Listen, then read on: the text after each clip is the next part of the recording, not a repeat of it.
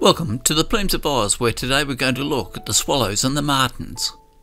And with these birds, there are two classical prefixes that will keep appearing. These are descriptive names of the European swallow hirundo, which is the Latin prefix, and Chelidon, the Greek prefix. Together, the swallows and martins form the family Hirundinidae. The common feature of the Hirundinidae, or swallows and martins, is that they have excellent vision and can feed on the wing. Overall, they are pied birds with variable amounts of brown or tan. The black component has a strong metallic sheen in breeding season. The swallows naturally have a swallow or a V-shaped tail. This is elongated laterally. The martins have a shorter, square tail. The wings of the Hirundinidae are elongated giving them excellent flight abilities, including the capability of hovering. And this little bird, as you can see, has a square tail, a brown tan head, white rump with a dark tail tip, and it is called a fairy martin. It doesn't have the elongated swallow tail. The fairy martin belongs to the genus Petrochelidon. Petros from rock, Chelidon again swallow, and we come up with the term rock swallow. For these birds nest in rock cavities and rock overhangs. And one of the Hirundinidae in Northern Hemisphere is indeed called the rock swallow. The common name fairy martin is because it is the smallest of the martins. And the species name Ariel, as you can imagine, means it is a master of the air. An adult fairy martin bringing in food for the young. These insects have been caught on the fly. In flight they are excellent flyers, not quite as fast as the other bullet-shaped birds, the swifts and swiftlets, but they are certainly acrobatic aerial masters. All the Hirundinidae eh, have a very similar feeding pattern, and are often found roosting and feeding in the same vicinity.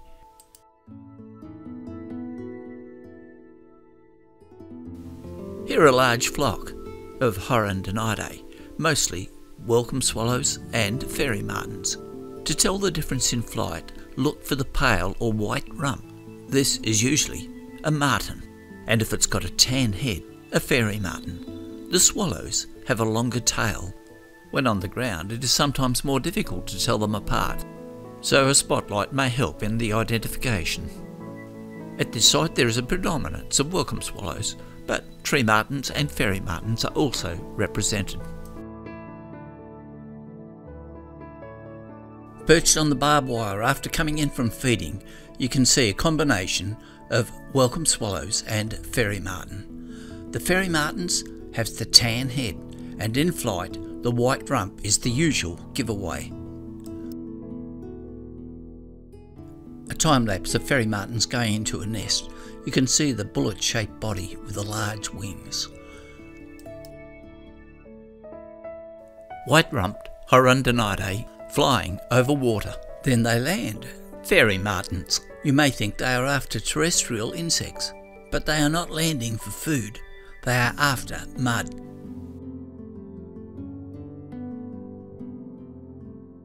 Swallows and martins have varying amounts of mud in their nest construction and the fairy martin is the one that has pure mud with very little organic material. On the insert as they fly off you can see this bird has a mouth stuffed with mud. The Hirundinidae feed on the wing and for this they need powerful wings and excellent vision. As you can see the wings are large and the eye is also large relative to the size of the bird. A fairy martin like this collecting grass, it's not for the construction of the nest, it is for the lining of the nest. Most of the nest material is made of clay. In contrast to this, the welcome swallow makes a nest with grass, small sticks and a small amount of clay.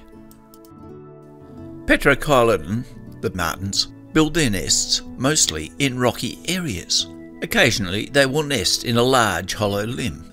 The fairy martins have adapted to the 21st century, and today, when driving over small culvert bridges, it is common to see fairy martins flying out, for these concrete overpasses give them much better protection from the wet weather. for if the nest is exposed to rain, it turns to mud. The road overpasses are engineered to cross over water, so as well as getting a dry nesting site, they are also in close proximity to the flying insects which are also attracted to the water under the overpass. Here are some nests under an overpass. Notice the different colour of the clay, showing that the clay has been collected from different areas or there are seasonal differences for the nest may be there for several years. Many passerine birds, when they come to the nest, they usually land on a twig, observe the nest and then move to the nest. With fairy martins, it is more direct, but instead of landing on a perch, they will often hover outside the nest to observe the contents for a moment. So under the bridges they do have this direct line of flight. If they do nest in hollow logs, it has to be a large hollow so they can fly directly into the nest. In contrast, the tree martin will always fly to the hollow, perch and then move into the nest. But when it comes to trees, more often the fairy martin nest is found under a large protective branch. A common feature with fairy martin nests is that the clay is moulded so that there is only a narrow entrance or a partial overhang, whereas the welcome swallow has more of an open cup structure to the nest. Hirundinidae are very communal birds, they will often feed as a flock, and with nest building it is done as a collective. When it comes to feeding the young in the nest, I'm uncertain whether this is a group effect or just done by the individual pair. But certainly at some of the nests it's not unusual to see more than two birds enter. It appears that the fairy martin, like most of the Hirundinidae, are monogamous but I really cannot tell the difference between a male and a female. The only noticeable morphological differences are related to age. The younger birds are more pale and have less tan on the head.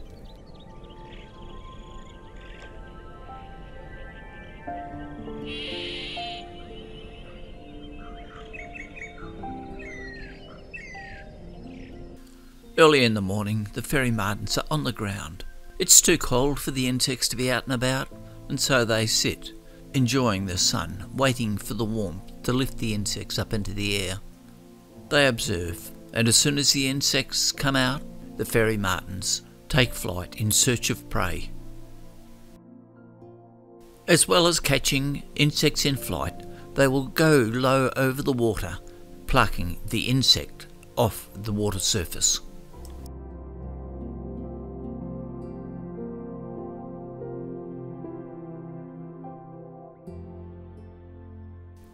As this fairy martin flies. Remember the tan on the head, the pale underbelly, the white rump, for as we look at other Hirundinidae, we need to be able to distinguish them, for they are often found together.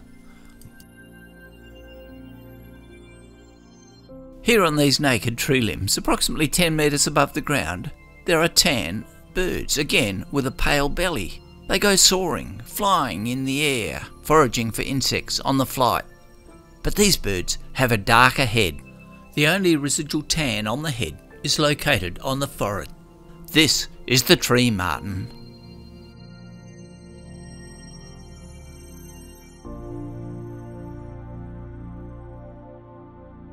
It is a much darker bird than what we have seen in the fairy martins, reflected in its binomial name, Petrochelidon nigricans. For the cap is dark the tan limited on the head to the forehead, with a variable buff on the flank and throat. The rump is slightly barred, appearing more grey than white. And the martins are flock bird, as are the other Hirundinidae.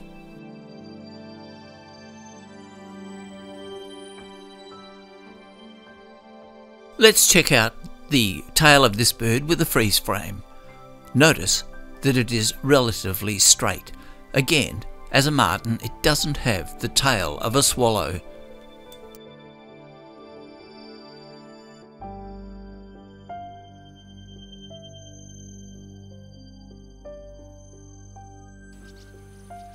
Tree martins nest in hollows of trees.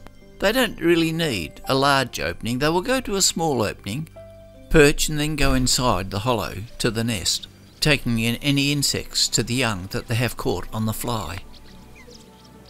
I'm always amazed how quickly the Hirundinidae fledglings take on the appearance of an adult. Watching the birds on a perch like this, you can see that as the temperature warms up and the insects take to the air, the birds will start to track the insects with their eyes. Then suddenly they leave the perch in pursuit.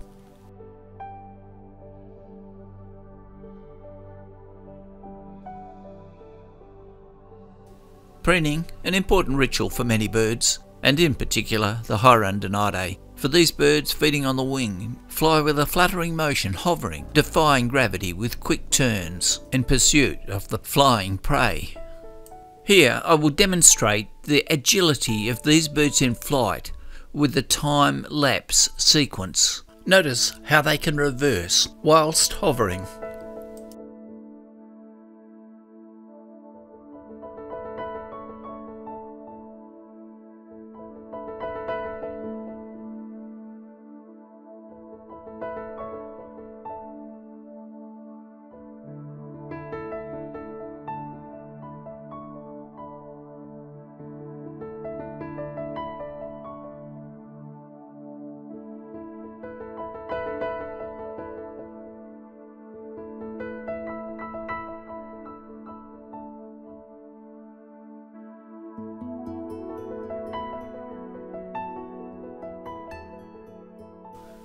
On the video you have seen the martins going in and out of the tree hollows and this is typical of a tree martin.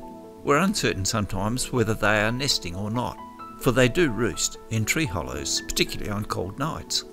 And sometimes during the day they will even rest in the hollows. The definitive way to be certain they are nesting is to observe as they fly into the hollow. If building the nest they will carry in some leaves for the nest lining and mud for a stable platform for the eggs to sit on. When they carry in food, you can be certain that the nest is active, not just a roosting site.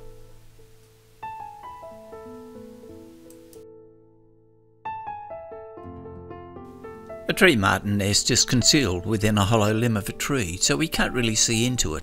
But here, the tree martins are collecting mud just like the other Hirundinidae, and the reason for this is that they want to make a level base so that the eggs won't roll down a sloping limb.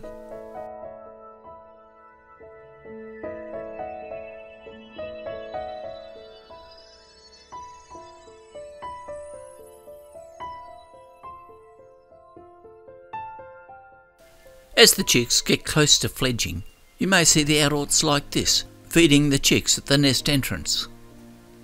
Tree martins on a hollow limb there are multiple entrance holes along this limb, and the tree martins being flock orientated birds grouped together, and there are several nests within this limb. Here you can see one bird flies to the nest hole carrying a leaf. This is for lining of the nest. But then the bird exits, and the partner bird appears. Once the partner bird has gone, he carries the leaf back into the hollow limb for nest lining. As mentioned, this limb has several entrances, and it's interesting to watch these birds for they usually go in in pairs, but not always. Sometimes multiple birds seem to go in and out of the holes, suggesting that there is perhaps group feeding or multiple nests within this same limb.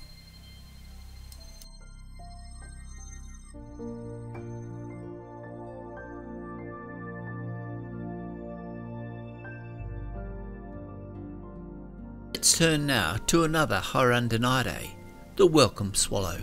Here they are flying above the trees as the insects come out. They have a forked tail.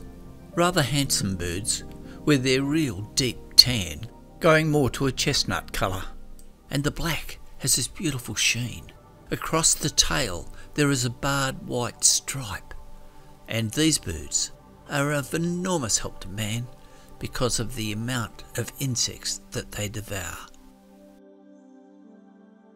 Like some of the other Hirundinidae, these birds have also ad adapted to urban development. For under the eaves and old sheds, they often build their nests composed of mud combined with straw, sticks and leaves. They feed on the wing and are probably the most common Hirundinidae found. Their distribution is wide throughout most of Australia. Many places where they are not found are in the arid areas where there is no water, for they are very dependent on catching insects, and usually that implies insects flying over water. They are capable of hovering.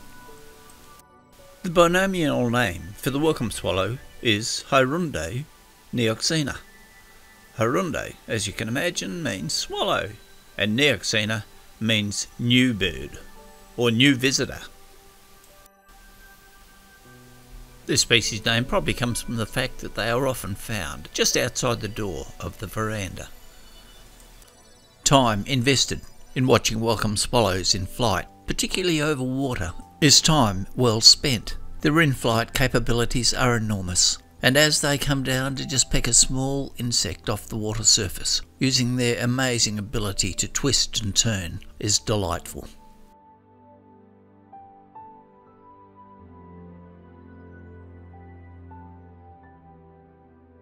The videos you're watching now are in very slow motion, taken at a very high frame rate.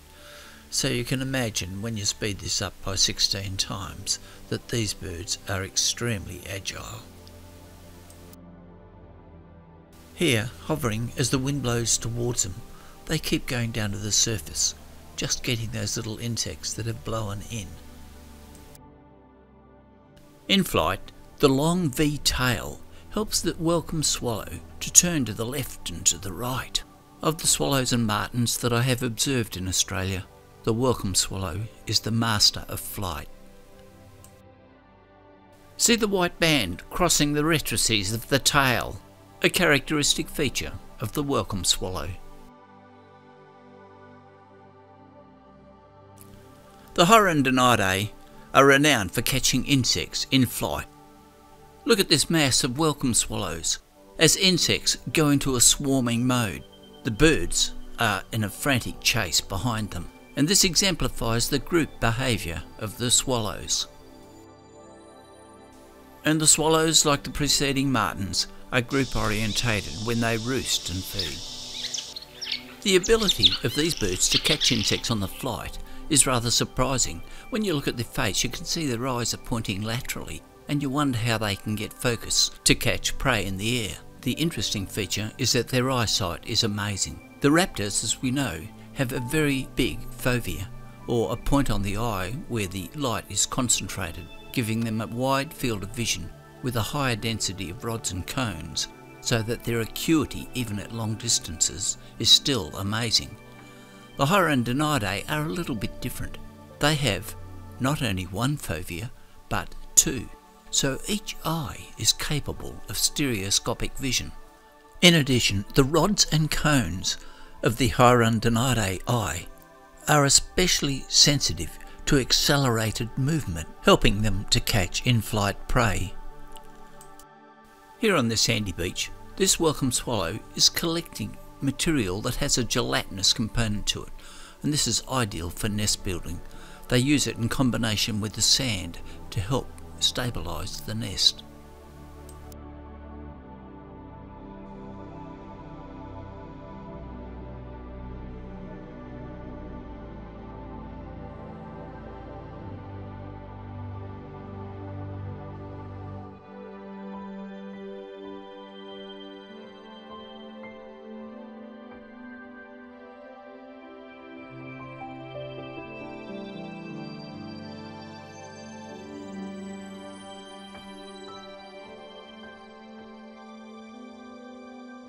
When the rain comes like this, it's not uncommon to see the welcome swallows just flying rapidly, trying to get the water off their wings, so that when they return to their nest or roosting site within the nest, they don't carry the water, for it would turn the clay nest into mud.